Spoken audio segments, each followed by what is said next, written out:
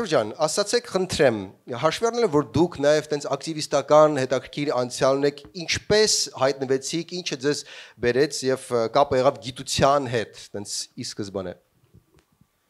Օ։ Երբ դեռ դպրոցական էի, սովորում էի Գյումրու ֆոտոն վարժարանում,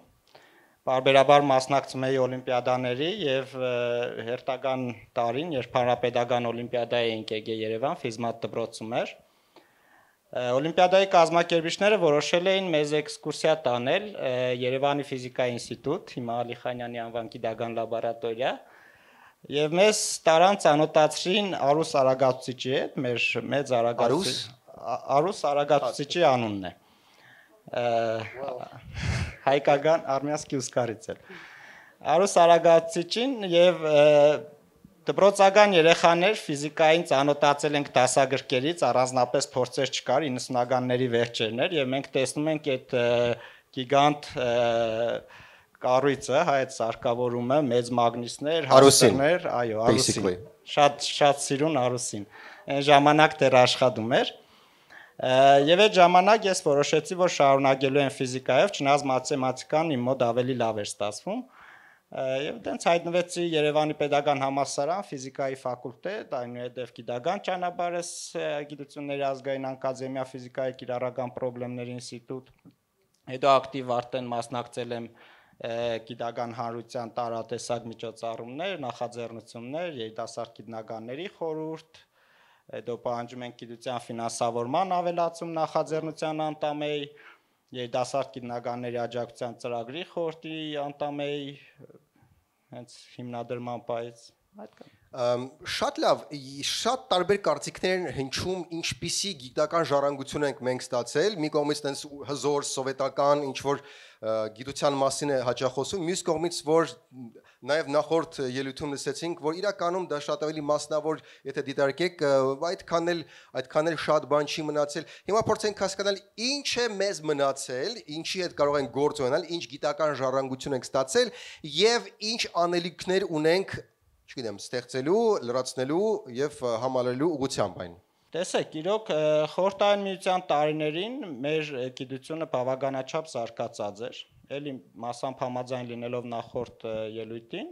պետք է ասեմ, որ մենք 1 միլիոն բնակչին գիտնականների թվով, խորտային միության մասշտաբով գիտական կարևոր նախագծերին մեր գիտական կազմակերպությունները եւ խմբերը գիտական մասնակցություն ունեին։ Մենք սերդաջած էինք տնտեսությամբ, մեր գիտնականները նաև խորտայնության տնտեսության մեջ էին ներգրավված։ Սակայն այս անկախությունից ի վեր կարելի ասել մենք այդ 30 տարիների ընթացքում ինչ ժառանգություններ որ ստացել ենք, լավ թե վատ, մենք այդ հաջողությամբ մսխել ենք եւ տարես տարի եւ գիտնականների թիվը եւ արդաուսք ուղեղների եւ նյութատեխնիկական բազան, հա, մենք չենք կարողացել ստաժանավույնս թարմացնել եւ այդ եւ բարոյապես եւ ֆիզիկապես մաշված համակարգում ենք։ Okay, ակադեմիան բայց կա եւ կան գիտնականներ, այսինքն ինչ որ սկսելու մեկնարկային կետ ունենք։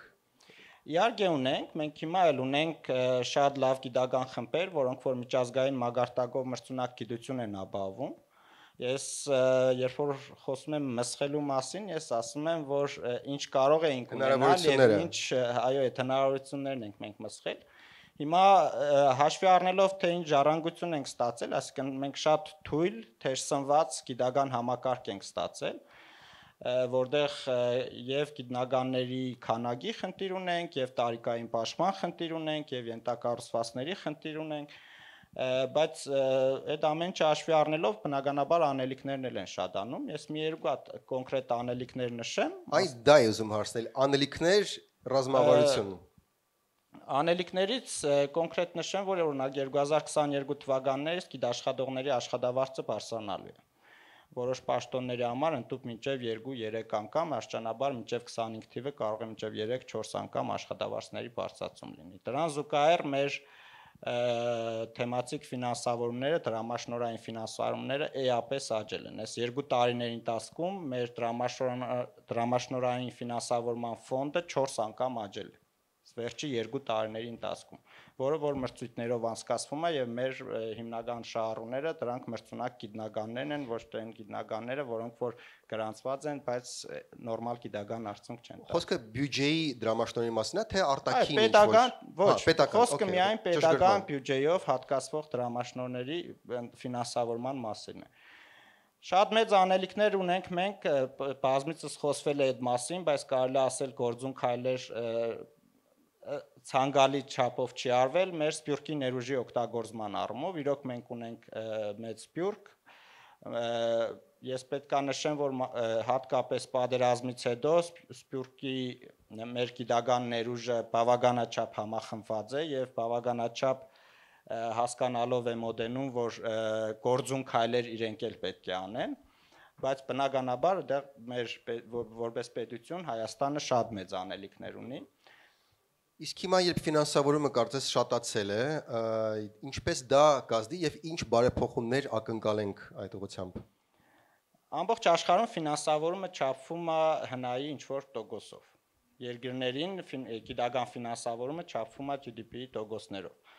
Բնականաբար, այս ֆինանսավորման աճը, որ մենք ունեցանք 21 թվականի նկատմամբ 22 թվականի բյուջեն 83%-ով աճել է։ Երևի շատ քիչ երկրներ կտնենք, որ նմանատիպ մի տարվա ընթացքում թռիչքային աճ են ունեցել, բայց մեր ցանկալի GDP ֆինանսավորման չափ հարաբերակցությանը դեռ հեռու ենք։ Հա մենք լավագույն դեպքում կունենանք 0.4-0.5% հնայից, բայց է շատ կարևոր եւ խոստումնալից պահ է այն իմաստով, որ նախ սկսեմ, որ ֆինանսավորումը մեր մոտ բարձրացել է վերջի 2 տարիների ընթացքում, հիմա է որ 21-22 անցումը շատ կտրուկ է, բայց նախորդ 2 տարիների ընթացքում նույնպես աճել է։ Ես նշեցի, օրինակ մասնավորապես թեմատիկ ֆինանսավորման մասը 4 անգամ աճել էր։ Այստեղ կարևորը ուղերձներն են, որ պետությունը հղում է դեպի գիտական հանրությունը, հա, դեպի ամբողջ աշխարհին նույնիսկ, հա, որ մեր մոտ կրթությունն ու գիտությունը այլևս առաջնահերթությունների մեջ են։ Եվ ոչ միայն դա լոկ բարեր են, այլ դա գործուն քայլերով պետք է ապացուցվի, մասնավորապես որպես պետություն իր գործուն քայլերը են, որ ֆինանսավորումը ավելացնի։ Բնական է, որ շատ խնդիրներ կան, որ օրինակ եթե ռազմավարության մասին խոսենք, շատ խնդիրներ կա, որ մենակ ֆինանսավորման շրջանակներում չեն գլոբալ առումով մեր խնդիրները ես կարող եմ ասել կարենք բաժանենք 3 խոշոր կդորների։ Այդ մեկը կադրերն են, գիտական կադրերը, դրանից բխով տարատեսակ միջոցառումներ պիտի անենք, որովհետեւ այդ կադրերի հարցը լուծենք։ Մյուս խոշոր կդորը դա ենթակառուցվածքներն են, դա լինի շենքային պայմաններ, լինի գիտական սարքավորումներ, ընդհանրապես ենթակառուցվածքը, հա այդտեղ է շատ մեծ անելիքներ կան անելու եւ իրավական դաշտի հարցն է, որտեղ մեր մոտ շատ խնդիրներ նաեւ բախվում են, որ տարատեսակ իրավական կարգավորումներ են պահանջում, դա լինի օրենքներ, կարգեր, ռազմավարություն, կերակա ուղություններ, որոնք որ կառավարությունն է հաստատում, հա, այդ ամբողջը ուղղելու կարիք ունենք։ Լավ, մինչև վերջին հարց տալես, մի մի սպոնտան հարց, Դե քանի որ ես եմ մտածել շատ ապուշ հարց ալնելու կներեք նախորոք Եթե մարդ ուսանող ունի ընտրություն, տենց տատանվում է գնալ IT աշխատի թե գիտություն։ Հիմա կարծես ավելի գրավիչ է գնալ IT ոլորտ,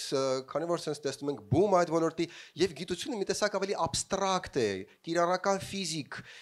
ատոմների հետ է խաղում այնտեղ, թե ինչա կոնկրետ, ինչ է ժակում կիրառական sense ատոմային ֆիզիկ, երբ կարող ենք սպասել եւ ինչպես անենք որ գրավիչ դարձնենք գիտության ոլորտը նոր կադրերի համար իրականում շատ խելացի հարց է։ Շատ բարդ հարց է, որովհետև ամբողջ աշխարհում էլ IT ոլորտի հետ մրցակցությունը գիտության դժվար է։ Game Zone ունեն հիմնականում իրանց բոլոր կազմակերպ մի հատ Game Zone, որտեղ PlayStation-ին խաղում եւ դուք ունեք Game Zone։ Իհարկե ոչ։ Okay։ Տեր։ Տրինաժորնի զալ կարակ, որ մտածեք։ Շատ մեծ հույս ունեմ, որ տեր չունենք, կունենանք։ Այո։ Տեսեք, համար 1 խնդիրը, որը պետք է լուծել այդ ուղղությամբ, դա ֆինանսականն է։ Game zone-ը շատ կարևոր է ու իրոք շենքի ռեմոնտն էլ է շատ կարևոր, հա, որտեղ է այդ գիտնականը աշխատելու, բայց ֆինանսական է։ Մենք գոնե պետքա IT ոլորտի հետ մրցունակ լինենք մուտքի պահին։ Ահա որ գիտություն մուտք գործող երիտասարդ գիտնականը մոտարապես ստանա նույն գումարը, ինչ որ IT ոլորտում սկսնակ ինտերն մուտք գործող ծրագրավորողը։ Բնականաբար հետագայում մենք կոնկուրենտ չենք IT ոլորտին, հա, այնտեղ միլիոններ են ստանում, բայց գիտական աշխարհը իր հրապուրանքները ունի, իր ինքը շատ հրապուրիչ է, այ այնտեղ նոր հետազոտություններ անելով գիտնականները չգիտեմ, այդ բարերով դժվար է բացատրել, թե ինչ բերգրակ են ապրում մարդիկ, երբ որ մի բան են ստանում, որը որ աշխարհում առաջինն է։ Ոչ թե ինչ-որ գործ են անում, որը որ պետքա գիտեն ինչ ճանապարհով են անելու եւ այլ։ Ոչ թե TikTok-ի բարային ինչ որ application։ Կարող է գիտության ոլորտը շատ հրապուրիչ լինել գիտնականեն, եթե մենք ընդեղ ապահովենք այդ գիտնականների համար արժանապատիվ կյանքը։ Շատ լավ։ Ինքը կարող է հարուստ չլինել, բայց լինել արժանապատիվ, բավարար։ Ինքը կարողանա դրանով բնակարան կնել, մեքենա կնել։ Չնայած կարող է այդ բնակարանը չլինել նորակառույցում, մեքենան չլինել 1 տարվա հնության։ Եվ լինել աշխարհը բացահայտողներից մեկը, հենց աշխարհի ստրուկտուրան, այսպես ասած։ Գիտուժ նախաձեռնության մասին լսել եք, ինչ է կարծում, արդյոք նախաձ համագործակցում եք եւ ինչը ինչ կոչ կանեք նախաձեռնություններին, որոնք ցանկանում են նաև գիտության հետ առնչվել աջակցել։ Դե երևի խապած կլնեմ, որ ասեմ չեմ լսել գիտուժ նախաձեռնության մասին, բայց Գիտուժից մարդ կա։ Ծափտվեք։ Բոլորն են լսել գիտուժ նախաձեռնության մասին արդեն։ Ինչքան շատ եք։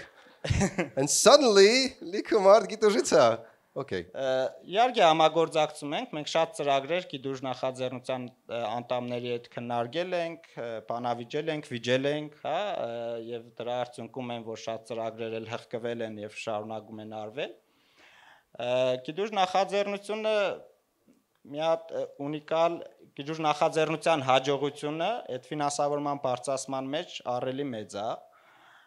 Եվ ինչի համար է այդ հաջողությունը եղել, ես մի տարբերություն ասեմ, քանի որ ես մոտ 20 տարի ինչ որ ձևով առնչվել եմ գիտության հետ եւ տարբեր նախաձեռնություններին անդադ մասնակցել եմ, ես ինքս նախաձեռնող խմբի անդամներ եմ եղել տարատեսակ բաների, բայց մենք գլոբալ առումով բոլոր այդ նախաձեռնությունները, որոնք նախկինում եղել են, ծախողել են։ Ունեն փոքրիկ հաջողություններ, բայց գլոբալ առումով մենք ծախողել ենք։ Ինչ տարբերություն կար գիդուր նախաձեռնության եւ այդ մեր նախկին նախաձեռնությունների միջև։ Բոլոր նախկին նախաձեռնությունները դրանք գիտնականների կողմից բարձրացված նախաձեռնություններ են, հարցեր էին, որոնք որ բարձրացնում են գիտնականները եւ այդ օրինակ ֆինանսավորման ավելացումը հենց գիտնականների համար էր, որոնք ուզում էին գիտնականները։ Գիտուժ նախաձեռնությունը գումար է ուզում մասնավորապես ֆինանսավորում է ուզում որ ավելացնեն գիտության, բայց իրանք առաջնային սպառողը չեն դրա։ Իրանք գիտնականներ չեն, իրանք ՏՏ ոլորտի, բարձր տեխնոլոգիաների ոլորտի, իշքան գիտեմ հիմա նաև այլ ոլորտների, հա, կազմակերպություններ են, որոնք մեծ հարգատուներ են, որոնք լսելի է իրենց ցայնը, եւ իրանք գումար են ուզում մեկ այլ ոլորտի թիրախային խմբի համար, որոնց միգուցե եւ երկրորդային սպառողները նաև իրենք են։ Լավ բան են անում մի խոսքով, ինչքան հասկանում ենք, ազդեցություն գործելու մասնագետներ են ներկայացել։ Այդ քայլերից ես նաև նշեմ, որ եւս մի դրական միջոցառում, որ գիտուժ նախաձեռնությունը անում էր, այս վերջերս իրանք bootcamp էին կազմակերպել եւ լրագրողների էին պատրաստվում գիտական լրագրողություն այդ կուլտուրան բանանելով, որտեղ գիտության մեջ մեր բացի ֆինանսավորումից մենք ունենք նաև այլ զուգահեռ անելիքներ, հա, մասնավորապես գիտնականի վարկի բարձրացում, գիտնականների հաջողության պատմությունների հանրայնացում, հա, որ մեր հանրությունը տեղյակ լինի ինչով են զբաղված գիտնականները, ինչ խնդիրներ ունեն նաև այդել։ Եվ այդ կոնտեքստում ասեմ, որ ոչ միայն գիտուժի, այլ այն կազմակերպություններին, մարդկանց, որոնք որ ցանկանում են գիտության կողքը լինել, զարգիդության զարգացմանը աջակցել, գիտության հանրայնացման արդյունքում արված այդ միջոցառումները միշտ ողջունել են։ Բոլոր այն բաները, որոնք որ գիտանկանի վարկը բարձրացնում են, ողջունել են։ Հենց հիմա էլ որ TEDx-ը շատ շնորհակալություն TEDx-ին, որ այս տարվա TEDx Երևանը նվիրված է գիտությանը, դա այդ քայլերից մեկն է շատ կարևոր են, հա, իրականում, որոնք որ գումարով լուծվող հարցեր չեն։ Իսկ իշ վերաբերվում է կոչս գիտնականներին, ես խոնարհում ես եւ շնորհակալական խոսքս ուղեմ այն գիտնականներին, որոնք այդ սուղ պայմաններում էնտուզիազմի հաշվին միջև հիմա դիմացել, մնացել են գիտության մեջ եւ շարունակում են Շատ չեն այդ խմբերը, բայց կան խմբեր, որոնք որ շարունակում են մրցունակ գիտություն ապահովել եւ վստահեցնել իրենց, որ արդեն իսկ պետությունը անընդհատ իրենց կողքին է լինելու իրենց նախաձեռնություններին, կարևորը որ ամեն ինչի հիմքում դնել գերազանցությունը, մրցունակությունը, միջազգային մագարտակը եւ համոզված եղեք պետությունը կագնաձա լինելու իրենց կողքին։ Երիտասարդ գիտնականներին այդ հարցը հնչեց, մաղթանք ունեմ, որ չվախենալ մուտք գործել գիտական համակարգ, հա, ոչ բոլորն են իարգե մնալու գիտության մեջ, բայց այն դպրոցը, այն գիտելիքները, որոնք որ իրենք ստանալու են գիտական դպրոցից, շատ արժեքավոր են եւ իրենց ամբողջ կյանքի ընթացքում այդ պետք է գալու ինչու ոչ նաև նրա համար որ այդ գիտելիքը օգտագործելով ստեղծեն միլիոնանոց, միլիարդանոց կամպանիաներ, հա, մենք ունենք նման օրինակներ նաև արդեն հիմա, հուսով եմ այդ օրինակները շատ կլինեն ու երբ որ խոսում ենք գիտելիքահեն տնտեսությունից, մեր իրականում մեր տնտեսության ճարտարապետությունը պետքա լինի նմանատիպ կամպանիաների վրա հիմնված։ Շնորհակալություն, շնորհակալություն ձեզ TEDx-ին մասնակցելու համար եւ ուզում եմ ասել որ օրվա ընթացքում եթե օրինակ գաղափարներ, մտքեր, համագործակցության ինչ որ բաներ մտքում ծնվածներ կարող եք մոտենալ, շփվել, ճիշտ եմ, չէ՞ ասում, կարելի է, չէ՞, մոտենալ եւ շփվել։ Այո, Արտուր Մովսիսյանն էր այսօր։ Այո, եւ ոչ միայն այսօր։ Շնորհակալություն։ Շնորհակալություն։